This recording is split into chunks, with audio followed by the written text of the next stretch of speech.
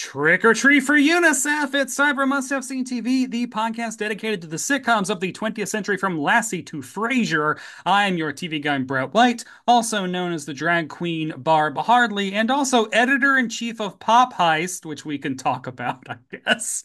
Uh, and say hello to the Timmy to my Lassie, Ethan Kaye Bark, bark, says Lassie. And um, gotta put the paw up. That's his. paw up. I'm putting the paw up. You can watch it on YouTube. Um, we watched a Lassie episode, and Lassie 90% of the time just barked, sat on her back legs, and lifted her paw up. That is Lassie doesn't talk. Lassie's a real dog. Lassie is a real dog. Lassie is a real dog, not a CGI dog. Um, Lassie was multiple dogs, but yeah, yeah, yeah, yeah for like uh, 50 years. But yes, I I I want to uh I guess mark the uh, occasion of must have seen TV has now outlasted my tenure at Decider. because I literally got hired at Decider like right before recording the very first episode. Oh well. Yeah. Yes, really. you are no longer so a senior reporter for right. Decider.com. You have bigger plans. Uh, yeah, and I am have made myself editor in chief. I didn't know it no one promoted me except myself of a new endeavor that I don't know when it's going to actually go live, but I'm going to start talking about it now because I want I get some word out. I don't know what's going on. I completely quit my job in order to do uh, a new hopefully a uh, hopefully a pop culture website that will fix all the problems of the industry. Oh, that's lofty. Um, but you've invited some really talented people to help write with you, myself included. Yes. Really yeah, and my husband is working on the branding and the website and or the logos and stuff and yeah, uh, and Matt, I'm yeah. Matt Little from Matt and Brett like Love Comics. We've talked. Uh, is involved. My wife. Yeah, it's Megan it's Kay. gonna be fun. Yeah, Megan. It yeah, it, it's it's so yeah, like the the the goal eventually is that any writer can write about anything they want to at my website. At my house, everyone can play with all the toys. Um, because what is broken about online journalism right now is that corporations have gutted all of them. Uh, newsrooms across the country are dead. Um, that is one of the things that I hate most about the current world we live in uh, is that when I go deep diving in newspaper archives and I go and find celebrity interviews from like the 50s and 60s and 70s, like you realize, like, oh, yeah, no, every city all across America had a TV reporter who once a year might get flown to Hawaii to talk to the I Dream of Jeannie cast or, you know, go to Canada to talk to like and that local part the fact that you could live anywhere in the country and be so involved in popular culture uh, is just something that we just don't have anymore. And that sucks because it's all for the rich people and it's all for clicks. Yeah. So I, no clicks. I read the book Spinning Disney's World by Charles Ridgway. Uh, Charles Ridgway was the head of publicity for Disneyland. So it was all about these junkets and invites and oh. getting people on site and, and and having these events for these local reporters who are like, I don't know what a Walt Disney World is, but you sent me, brought me down here, and now I'm going to look at this Walt Disney World you have here. And it's, it's, I, I really liked it because it really gave me that insight into what local reporting was like. I never, I would like, I would love it. Like when I think about like, I would love to be able to do what I do now in any other era. I mean, maybe not like the 1800s. Um, See, I would love to do pharmaceutical advertising in the 1800s because oh, A, man. there were no regulations, and B, it was all heroin. Just a Coca Cola is heroin. Cocaine. Wait, did Coke have heroin in it originally? No, it didn't. No, it okay. didn't. It had, go- it had cocaine. Yeah. Um. Yeah. So keep an eye out. I, you know, the website is not up yet. I'm still in the very, very, very, very, very early stages. I do really would like to have it up by the holiday season because that would help in terms of getting the word out. Um, but we'll, these things take time. we'll see. Um, yeah. Uh, so anyway, um, that'll be the new home for Must Have Seen TV content too. So because it's it's part of the network, baby. We're part of the um, network. But we do have a Patreon that we do want to plug. Yes. Um, we did have to turn it off for a little while because because separating. of uh because I was uh in separation negotiations with my uh employer uh of just figuring out the right um severance not severance but you know just I am quitting. Yeah. there's also there's a whole lot more. There's a whole lot of like uh uh Catch Brett at the bar and Brett Yeah, there's just story. but, but just getting a whole lot of red tape between like insurance companies, uh, psychiatrist offices, and HR is just a really fun way to spend a summer, the same summer that your dad died. Really great, really great. Now we're back, Patreon's up and running, and I am freed, baby. I'm freed. I already know some of the content that's going to be going up after this Lassie episode, um, but we'll get to that uh, hopefully a little bit later. And if you're on the Patreon, you'll see it. Ooh, but this week we will be traveling to and beginning our Halloween content, bleh, uh, to October 25th, 1959. What? I don't, okay, I'm not doing that anymore. Pillow Talk rolled the box office. Mac the Knife by Bobby Darin topped the charts, and CBS aired the Lassie episode, The UNICEF Story. Ethan, you must have seen the UNICEF story before today. Well, this is interesting. I have not seen the UNICEF story before today, and mo a lot of Lassie fans probably also didn't see Right. the UNICEF story because it was not syndicated with the rest of them. Why is that? Uh, I, my suspicion was it was a seasonal thing that was pr Hmm. created in partnership with UNICEF. The Yeah, this is a UNICEF commercial. It's a it's a 21 minute UNICEF commercial that was written for a very specific time, and for some reason, and I I don't know all the backroom discussions, as part of the syndication package, season six, episode eight was not part of that package. Now it is available on YouTube. I believe it is available Thanks, on thank you, Kali. Kali Lover, for uploading it. I love Um, so you can watch it, and I honestly I thought it was there's there's nothing in it that's like would not be out of the ordinary for any usual Lassie episode. No, yeah. So I grew up watching Lassie Bitch. Like you said, you this is the first Lassie episode you've seen? Oh Baby, I've seen hundreds.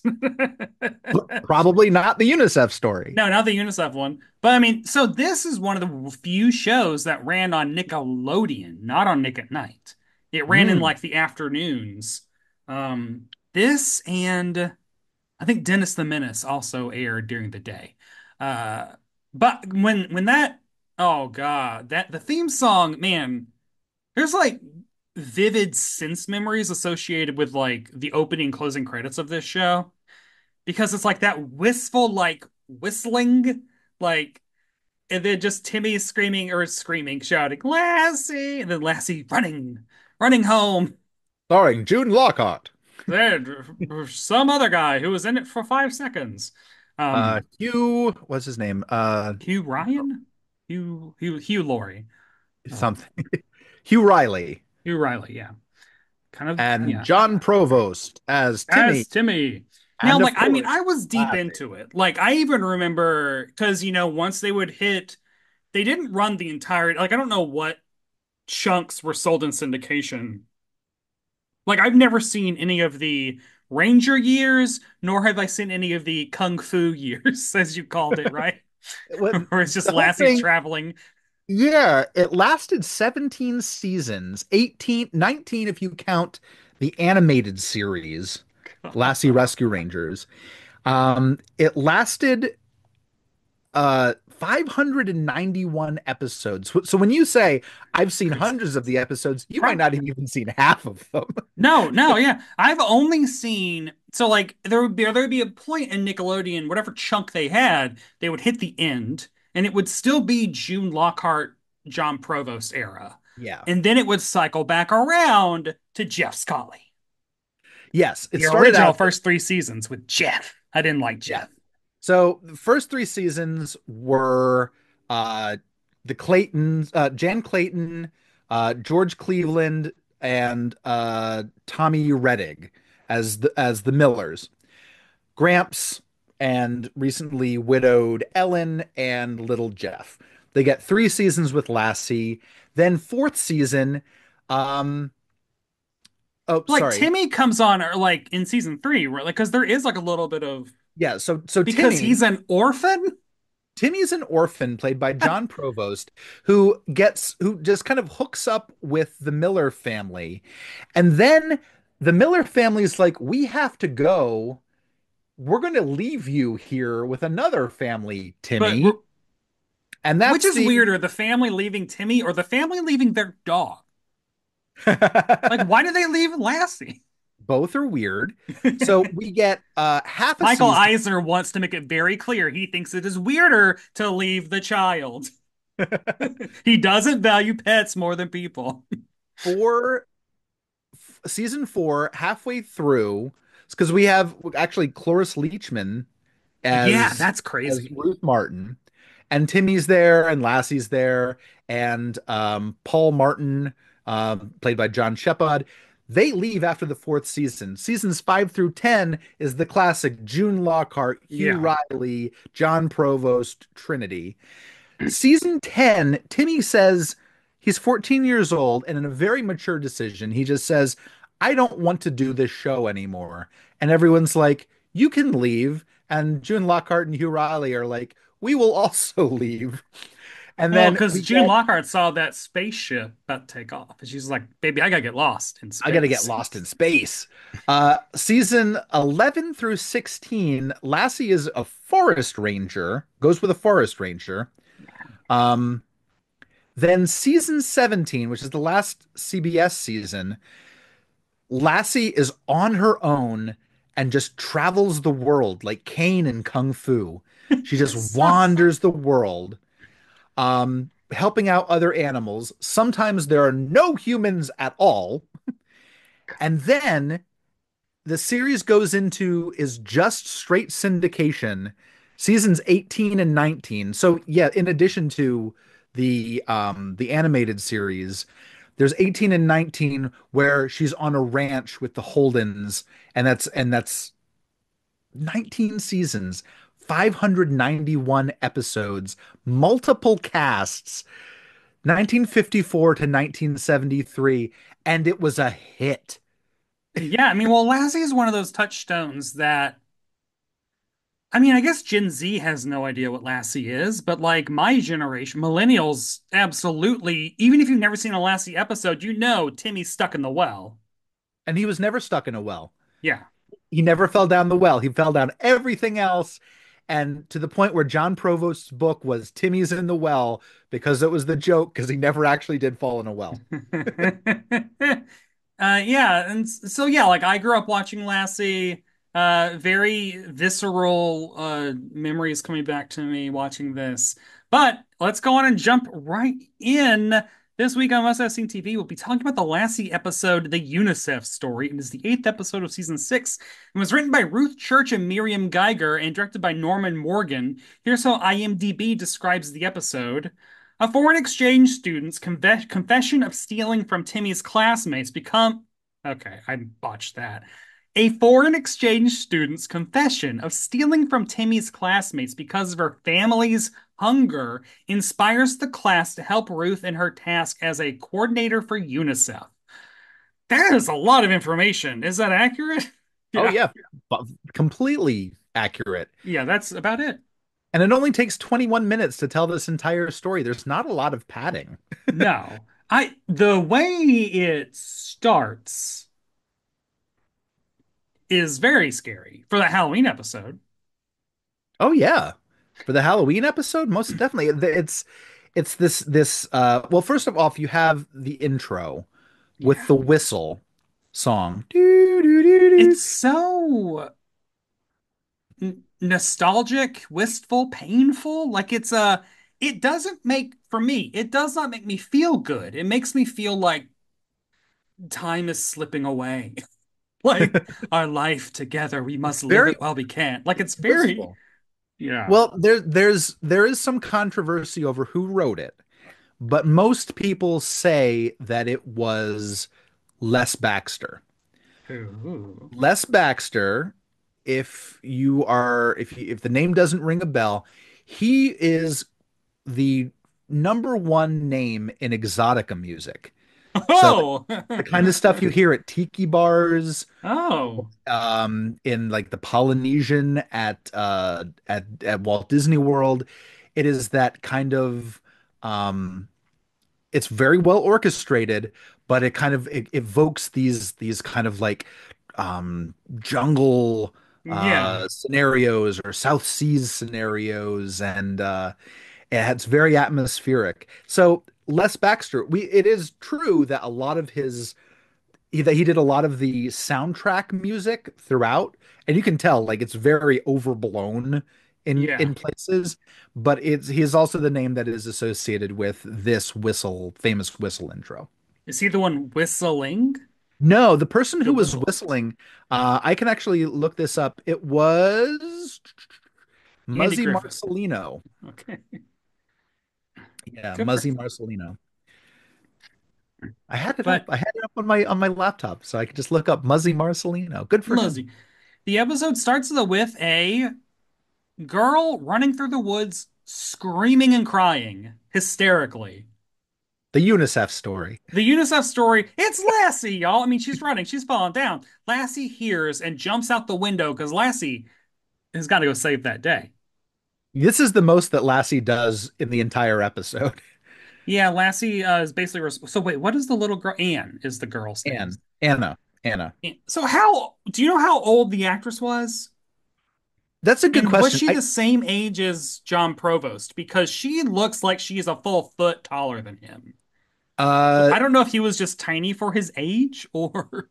she was born in 1947 and uh John Provost was born in 1950. So she was 3 years three years older older than him, and they're in the it is same grade.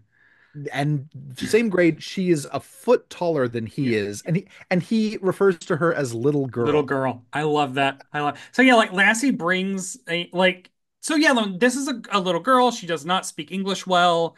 Lassie, like she's an I love this part. I love she's initially scared of Lassie, but then Yeah. Lassie like puts a paw out, like shake, and then it starts whimpering and like almost like empathizing and like cuddles up with her. Like, I love you, Lassie. and then takes her by the hand with her mouth. It, it's hard to it's hard to use pronouns with Lassie because Lassie was played by a, a, a male dog, but they just it was assigned female at script. Oh, Lassie's drag, honey. The um, original queen. yeah, the I mean the original dog from the uh the movies was named Pal and and but then all the other Lassies were descendants of Pal. So this is uh in this season, season six, it's Lassie Jr. Oh, it's only one generation removed? Yeah, Okay. Um, there's yeah, sorts like kinds of stuff I can talk about Lassie, but like yes, Lassie kind of drags her by the takes her by the hand to where Timmy is. yeah, and also what I noticed, um, like the outside set, and this might be true throughout the entire episode, has wind. I like, which is a thing that usually when people go outside on obviously a set, it just doesn't. And there's actually like it feels like a scary night. Yeah, it, it makes me think of the Danny Thomas show where they were outside and it's like, oh, this is obviously a set. oh yeah, no, this is just like, hey, we're putting on a show. Uh, this is outside. Cool. Yeah. Timmy Yeah, is also the the welcome committee for this person. Mom and dad don't leave the house. Timmy, no, Timmy walks up because Lassie comes back. Like Timmy wakes up and is like, "Where is my dog?" And then he like comes outside as Lassie's bringing Anna up, and he says like, "Hello, little girl." Something like, "How are you, little girl?" Like it's like she is tall. he's nine years old when he's He doing. also gives me so much big Luke Skywalker A New Hope energy. Oh, truly. Like the like Luke Skywalker on Tatooine, where he's just like a doofus, and is kind of like like his uh his like tunic is too big, kinda, and he's always like, oh, like the way that Timmy walks up and is like, "Hello, little girl, come with me." he he's like Luke Skywalker in that he lives on a farm and he assumes the best out of everyone. Oh my God. Yeah, and so he brings her Anna Anne into the kitchen. Uh Yes. Lassie is like one of the first shows. I'm trying to think when I think of rotary telephones, I think I think of Lassie. I think that is my touch point. Well, the dad gets it in his head that this girl who doesn't speak English very well is, quote, that little foreign girl, the William, the Wilkins, The Williams, Wilkins came uh, back with. yeah, the Wilkins were going to bring home.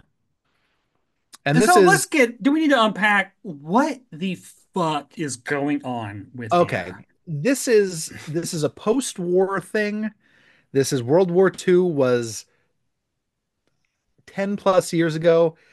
This Yeah, is like a child that Yeah. that they brought over from Is she like Eastern European, At, okay, at first when they said Europe, I was like, she sounded kind of Italian, but then like when she started talking at the end, I was like, no, that's definitely like Polish. Russian, Polish, Croatian. Yeah. Like it's definitely yeah, She has later she alludes that her family is still over there, but this is an opportunity.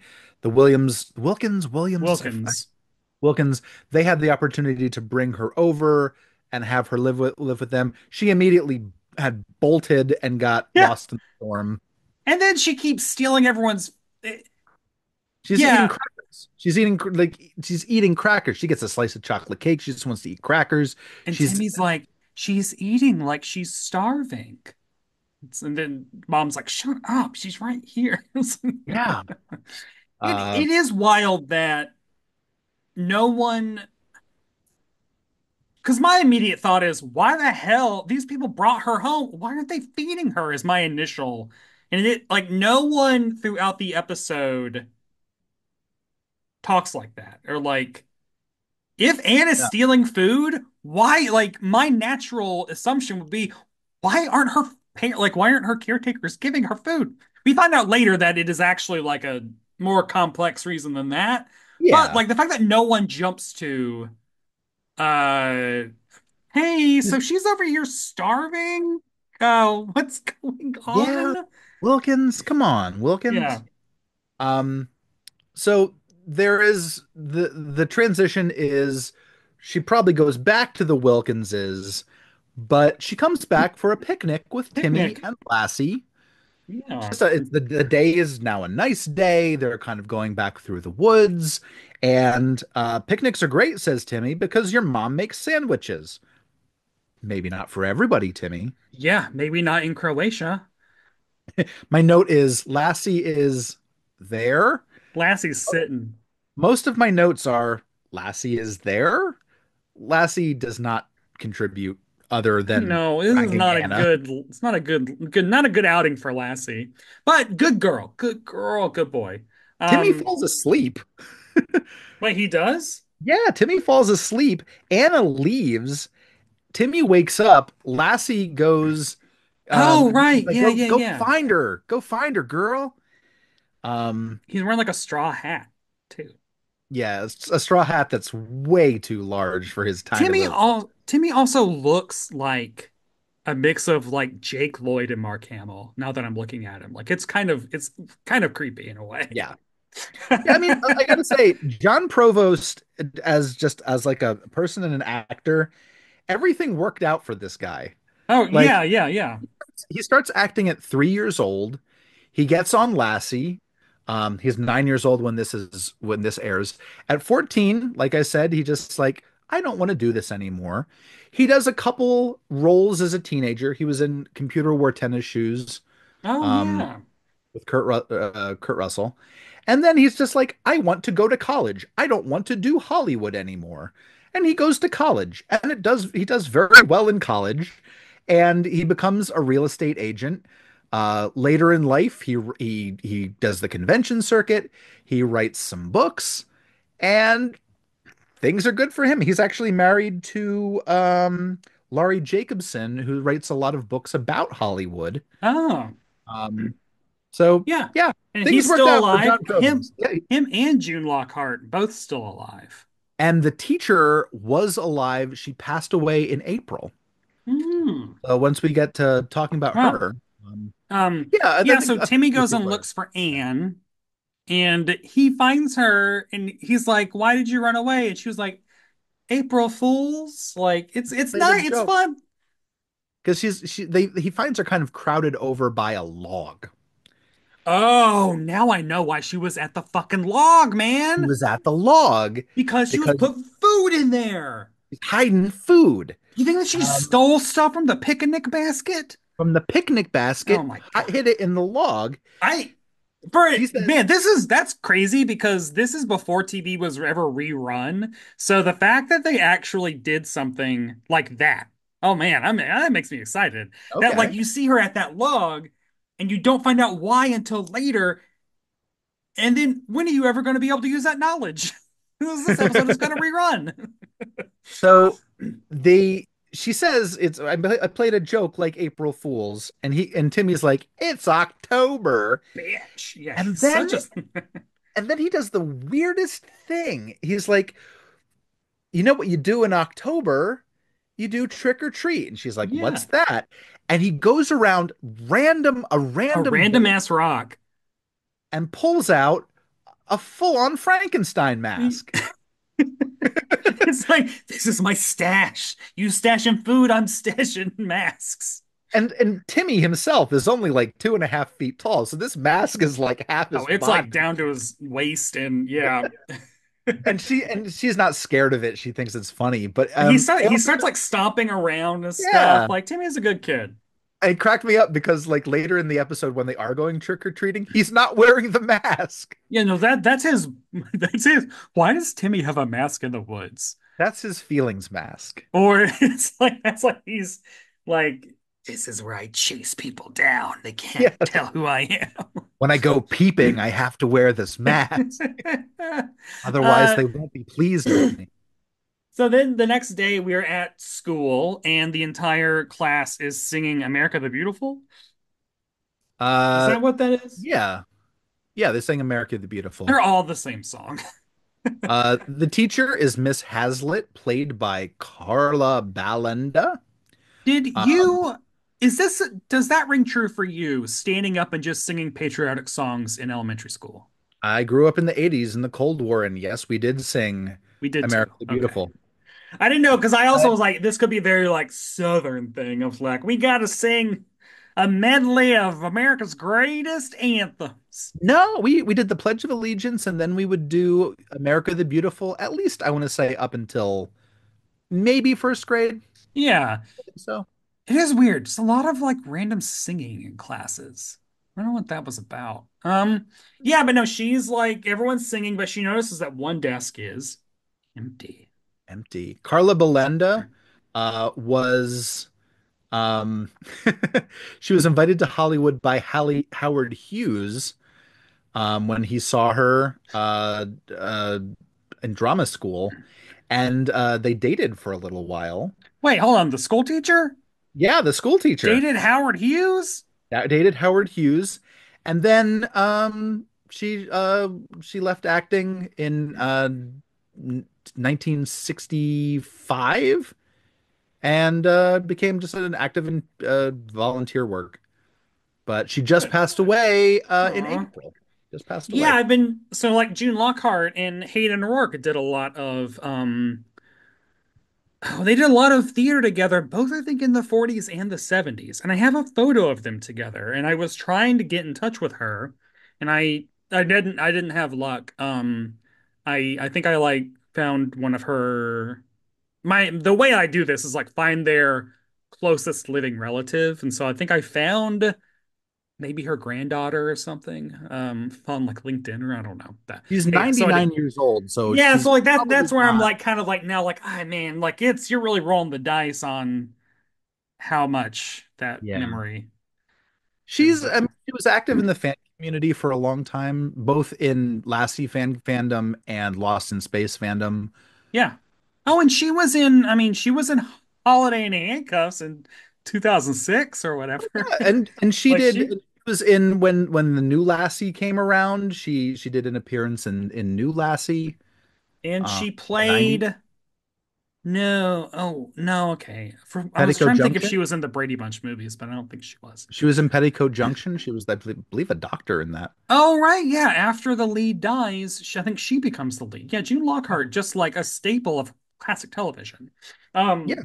uh, so yeah, like then we cut outside and Anne is running in. She's late. Lassie is following her, um, because Lassie's a good dog. And Lassie's allowed in school for reasons that are not explained. He's Lassie. That dog has probably saved every one of those kids' life by this point. Season six, they're like, this dog sits in that chair. This this dog dog, gets this an dog, A. this dog pulls a salary from this town. Honestly, like, yeah, the dog is the SRO officer. Lassie is the school's. Uh, a little bit of fun information about one of the students, um, Willie Brewster. Uh, she has a couple lines and she plays piano at the end. Uh, Hmm. Willie Brewster is played by Linda Wrather.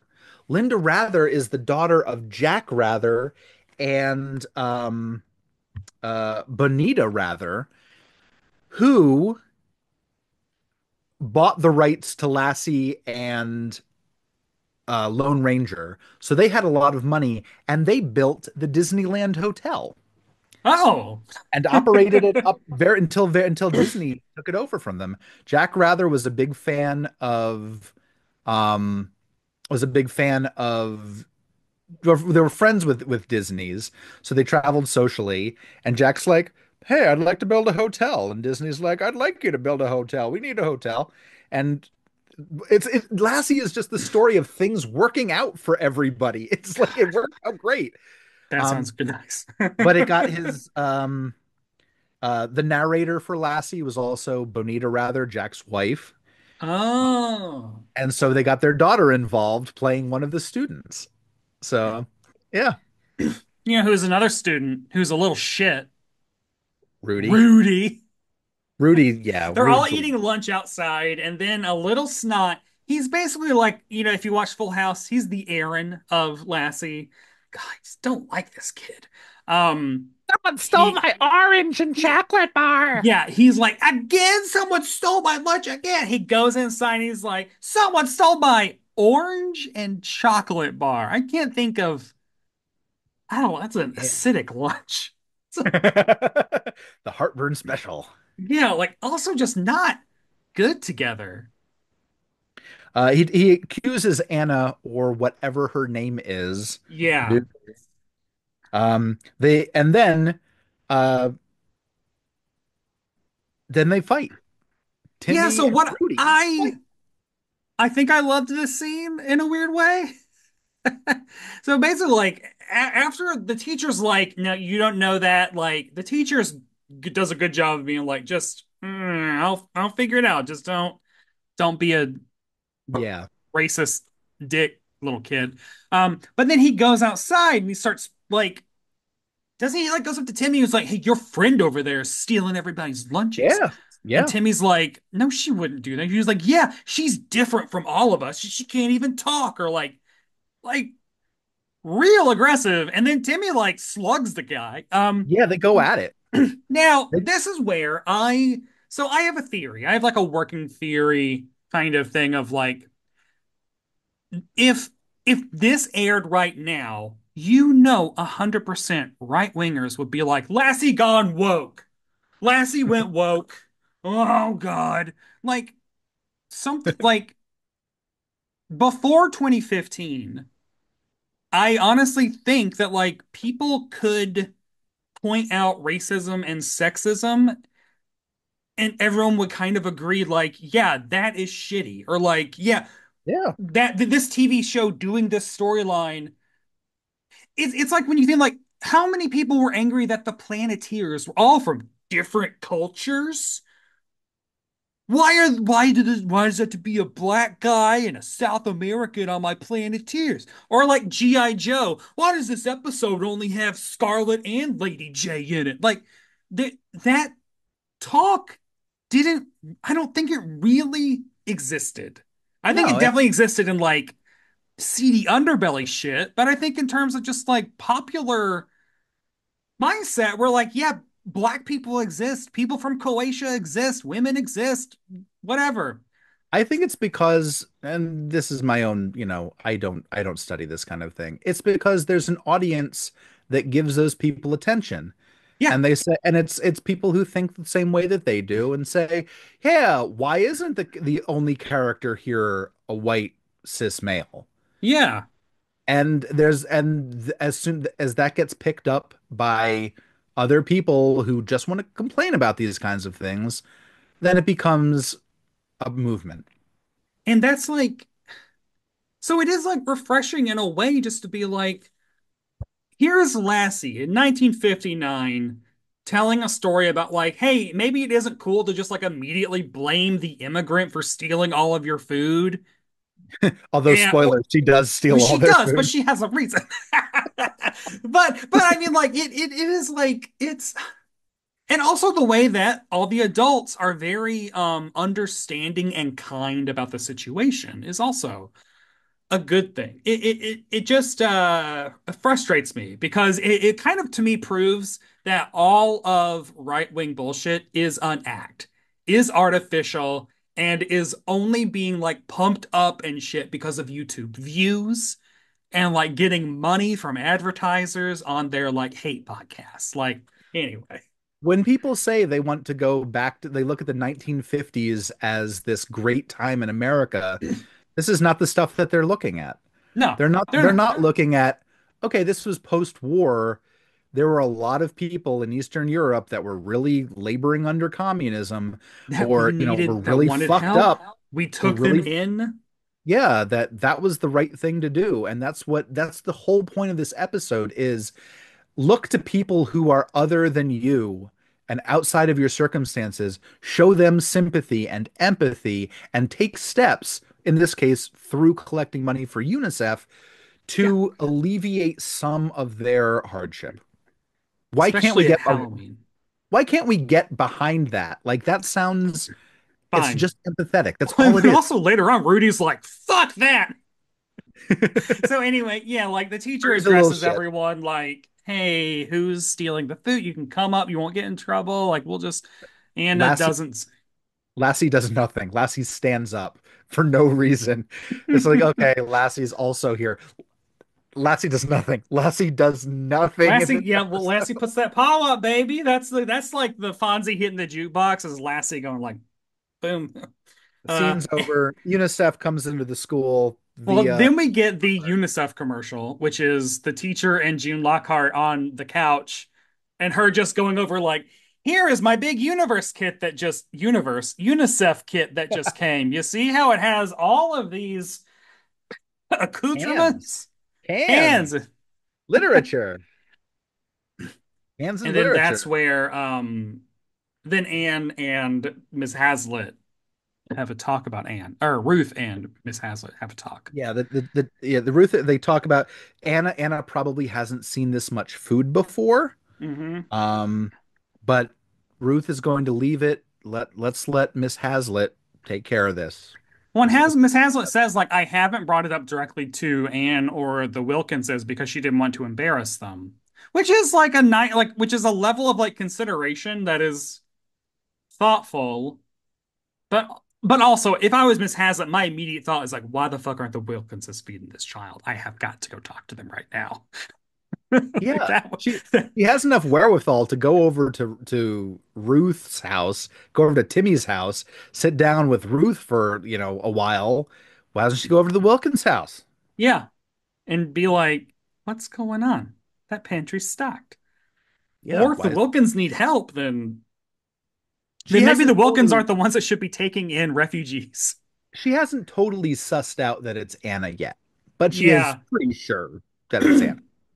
And Timmy now is under suspicion that his his bestie is Mom uh goes to school to sell UNICEF to the kids.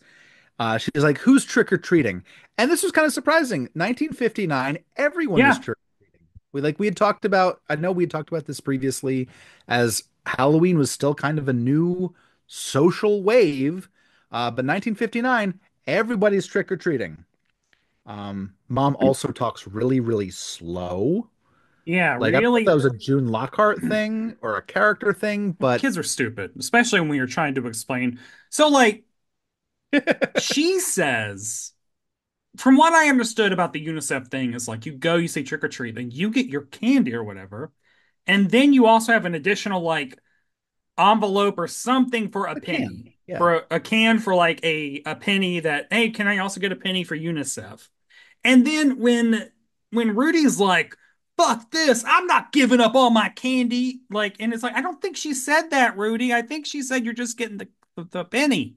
Well, I, I I hate to throw this out there, but in the 1950s and 60s, some kids were told you can do one or the other. That You can trick or treat for candy or you could trick or treat for UNICEF. And some schools Oh. Cannot pick up candy if you're trick or treating for UNICEF. You Because I, should. I saw this on a, a Lassie uh, website where they're doing a little commentary, and he's like, "These kids are lucky that they can do both. I was only allowed to do trick or treat for UNICEF." Oh my God. Wait, what Lassie website? Oh, I I would it would take me forever to find it Is was this a website that we need to partner with? it hasn't been updated in a while, but uh, that's why I was looking for more Les Baxter content. Oh my God. Uh, oh, so, so is it only one penny per their entire night of trick or treating, or do they have No, multiple cans or whatever? no, it's it's it's you go up you and then every house. Yeah, every house you ask, and at this time, a penny was worth more. When I collected for 4-H, it was whatever you wanted to give. If you wanted to stick a dollar in there or a quarter, you totally could. Because at this time, as they pointed out, one penny equals five glasses of milk. Wait, really? I'm looking up the inflation calculator right now to see if that'll work. Um, One penny equals five why glasses. couldn't they go like, okay, this house is a UNICEF house, this house is a candy house. Like, I feels like you could do both. You, Okay, I mean, there was a, a nothing to say penny in you could. 1959 is 11 cents today. Yeah. So if someone gives a quarter, that's yeah, 250. weird. So yeah. Uh, I did it when I, for one year, we were collecting for Kenya. Uh, when mm, I was in 4-H, there were my 4-H group was I want to say four people, three of whom went trick-or-treating for UNICEF as a group, and it really was it was as easy as trick or treat, here's your candy, trick or treat for UNICEF, and some and it has it has a coin slot, so it's not like you're like holding up like a box or something. or like a That's like a soup can. Yeah, it's like you it's it has the coin slot, you know, a coin goes in there. Yeah, And we I, I thought it was great. We um we raised enough to get uh, one of these towns that was suffering from famine uh, a water pump, which Mm. was kind of important. And I think the way that we did that was the mother of one of the 4-H kids was a professor at Lafayette College, so she had an in to a dorm trick or treat. So we'd go door to door at the dorm for candy, but also we could do we could hit more houses with with UNICEF. Uh, college So students giving. yeah, Well, you know, you Ugh. organize it correctly and it happens. Yeah, it's just not. Uh, uh, yeah. So then they go outside, um, and uh, Anna's forgotten her coat, and so she like goes back inside. forgotten her Her coat. Yeah, she goes back inside, and then shot like it's a Alfred Hitch- Hitchcock episode or something. It is so moody. Like I feel like there are blinds that like you know shadow across her face as she goes and gets her coat, and then she goes to a lunchbox, grabs a sandwich, and then like is that when she like hightails it to like her Yeah, log? yeah. She she goes to steal. She steals the food. She runs to the log. The you know the Les Baxter. Yeah, yeah. It's Like cinematic. it's it's you know it's Alfred Hitchcock presents. It is Yeah, and then like uh, young. Yeah. then what? Timmy and uh, Miss Hazel Hazlitt uh find her, or like they follow her and see that she's squirreled away a, just a bunch of food in a log. Lassie is there. Lassie is there. Lassie's always there. I have a big note. Why is Lassie at school? What else is Lassie gonna do? I mean, this is taking Mary Had a Little Lamb to like an extreme. Like the dog is always at school with It's Timmy. it, it's the dog's show. Dog is top billing. Uh, and that's when like Anna is Anne, Anne or Anna. I do this every week where I cannot remember someone's name. Well, it's wrong in my brain. Um, but he, this Anna. like if you explain what is going on, like the other kids like will be like they don't hate you. They will be your friend, etc. Yeah. And she cops to it. She says she she tells her story. She doesn't say where she's from. She says she's from a faraway country to keep it kind of ambiguous. But she says, I, I you have so much. Um, I have a family of seven brothers and two sisters, and I want to bring food back to my family.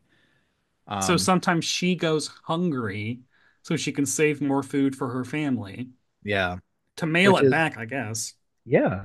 Uh, then Timmy's mom shows up. Just I don't know why. She just does. She pokes Um, her head in the window, was like, Y'all want to trick or treat for UNICEF now? and now Rudy, the little shit's like, I do want UNICEF now more than ever. Not in those words, but he's like, we should all trick or treat, And now, like the entire class, and Lassie barks, and the entire class wants to do UNICEF. Yeah. Um, and then we get a really quickly tacked on trick or treat scene where Yeah. Timmy, not wearing the Frankenstein mask and is dressed as a poor person or a hobo, or Which feels incredibly tone deaf. I know. Hey, I, point of this hey, do I look familiar? like, Anna, I'm going as your dad. yeah, like Jesus, Timmy. Anna is dressed. I don't know what she's dressed as. She's it dressed in Little a Bo nice, Peep? I don't a nice dress and like a, a a nice hat.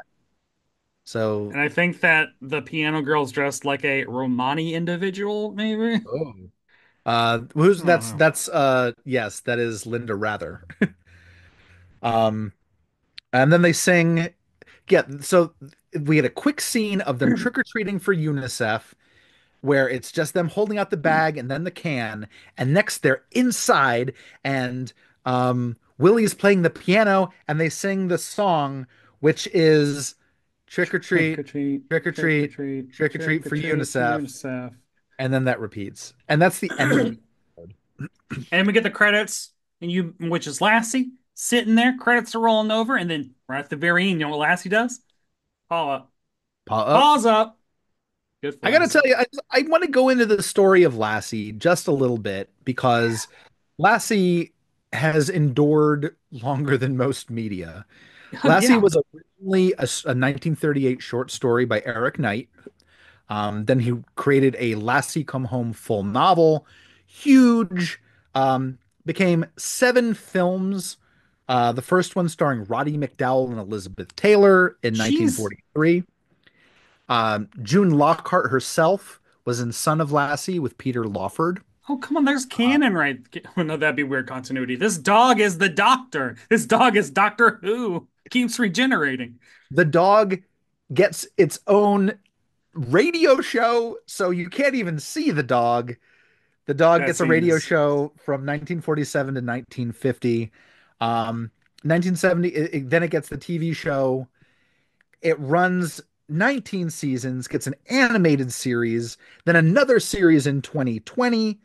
It gets uh, the new Lassie, I'm going to say in the 1990s, um, and a movie starring to the in 2005, a movie starring 2005. Peter O'Toole, Gemma Redgrave, Kelly Macdonald, and Peter Dinklage. What? Was it released in theaters? It, it was, I believe, it was 2005. It might have been released, filmed in 2005, might have been released in 2006. It gets a PlayStation 2 game. Oh my God. Lassie gets a goddamn PlayStation 2 game, which I I looked it up on YouTube, so you don't have to. It plays like a phone game. That oh. you, Oh, it's like you have to use Lassie to herd sheep into a corral, and then there's multiple things where Lassie is on something that is sliding down a hill, and you have to navigate her left and right around different obstacles. so I think that so the Lassie movie is an Irish movie. Yeah, it takes it doesn't take place in the Yeah, US, it takes place overseas.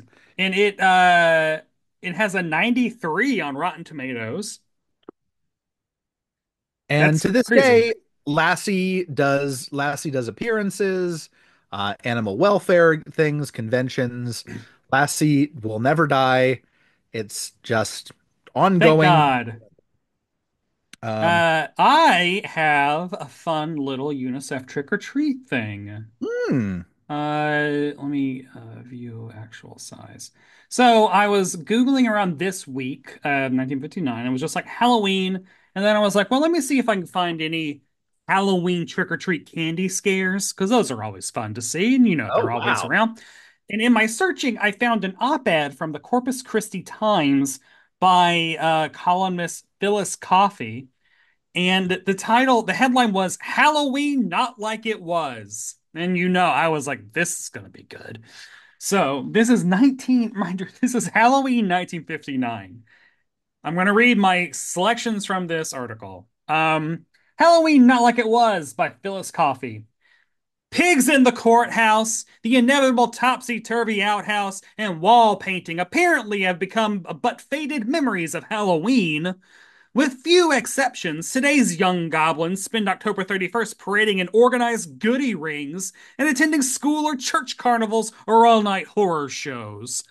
uh, ghosts just aren't the cads they used to be, one old timer said. 40 years ago, Halloween wasn't complete unless we hid each of the mayor's wagon wheels at a different spot in town and let out greased pigs and all the fussy women's prize petunias. Yeah. Yeah. uh, a woman in her early 50s recalls wingdings made of spools of thread, a nail, and twine. What a sound these inventions made against windows, she said. It's just wild hearing senior citizens being like, oh man, vandalism. Uh, things began to calm down about four years ago, a 19 year old boy said. We actually began to do more prowling on other nights during the year because there weren't so many people watching. Police Chief R.T. Dick Runyon said that youngsters here have behaved themselves on Halloween for the past few years, and he asked for their continued cooperation. He urged homeowners, however, to prepare for Halloween Saturday as they would for a hurricane. Oh my God. Several local merchants said they have given up coating with gly- Several local merchants said they have given up window coating with glycerin in the past several years. My windows aren't messed up to any extent anymore, one local merchant commented. It's hardly worth the trouble of repairing. For the past three years, hundreds of youngsters from kindergarten to senior high school age have added the human touch to Halloween. They spend the first half of the evening in traditional trick or treat trips, but for funds to give to UNICEF, the United Nations Emergency Fund, an emergency fund. I don't know. Yes, right. Okay. Yeah. Anyway, um, then they return to their church headquarters for a party given by parents and teachers. UNICEF money goes for medicines and milk to mothers and children in needy areas of the world. So Yes.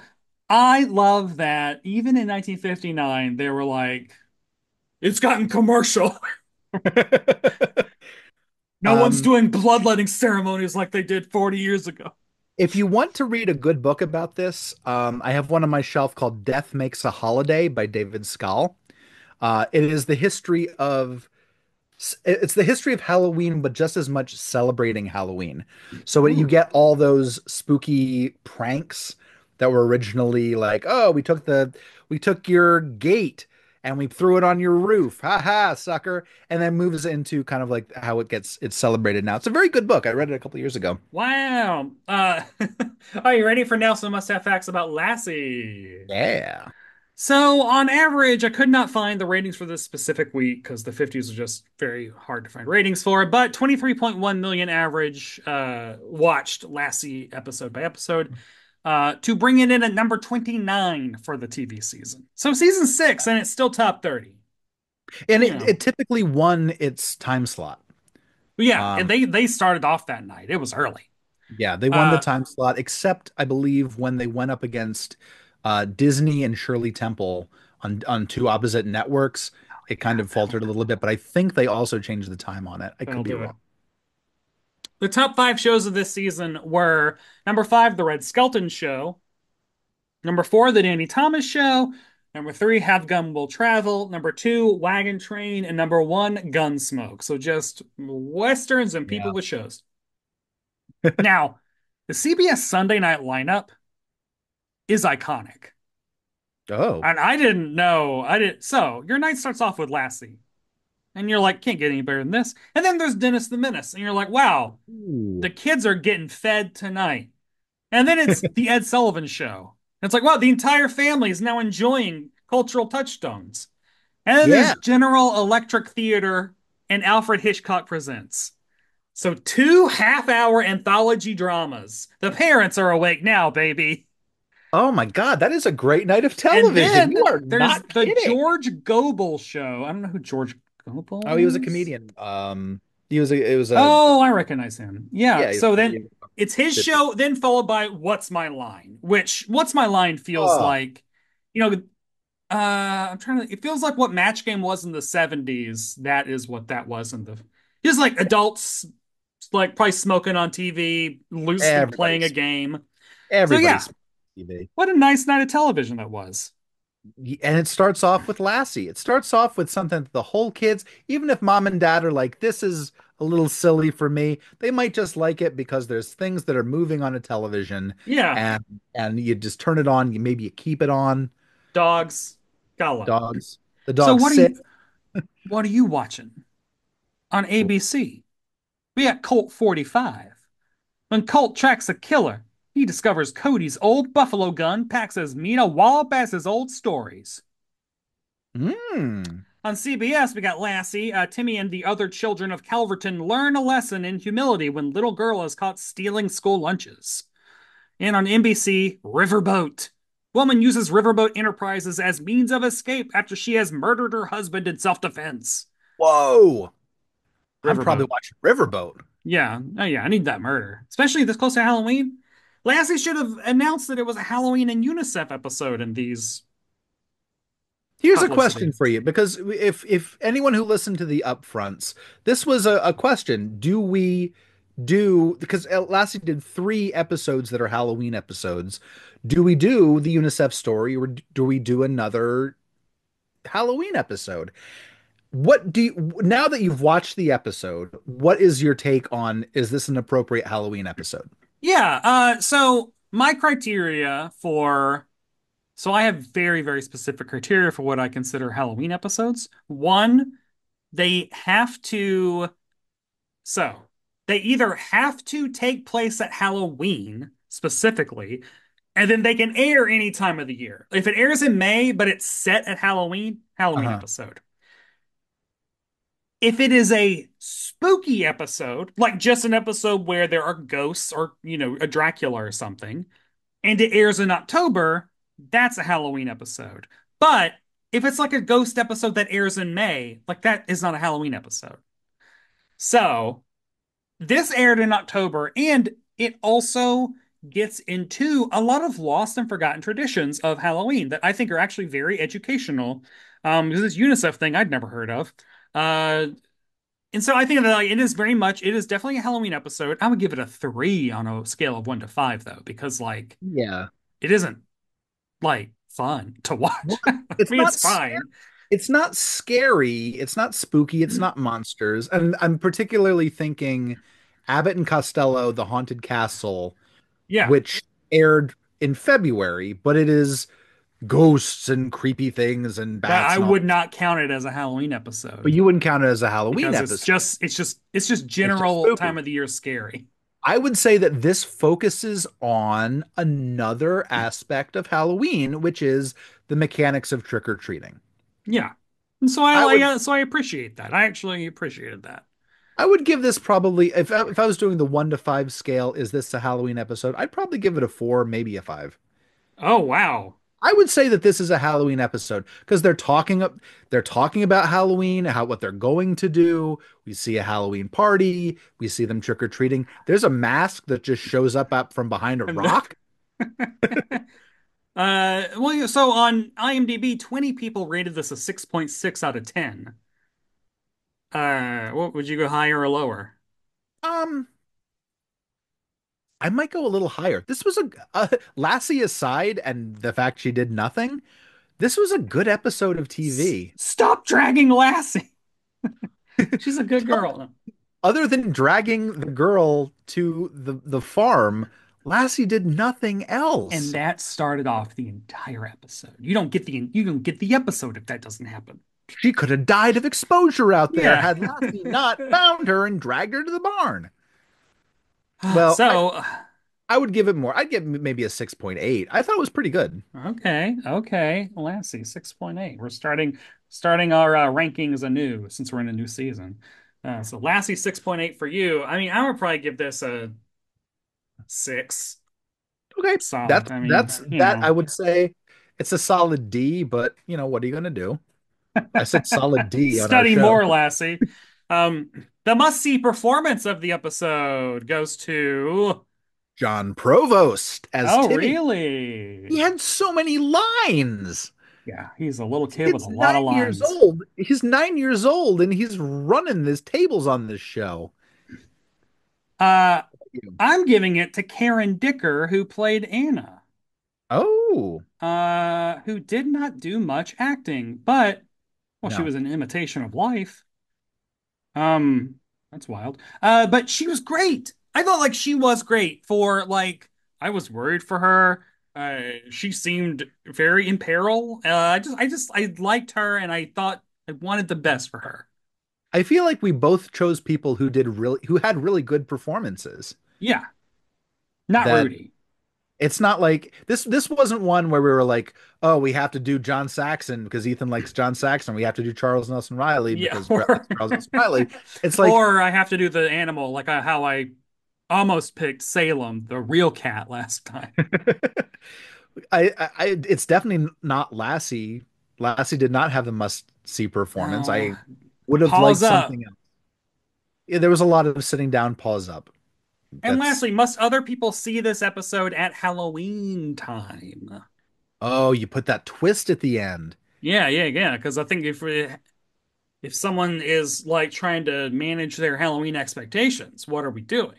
Then I would say yes. Oh, wow. This is a bold, it's a bold statement. I'm saying yes, so you know where trick or treat used to be.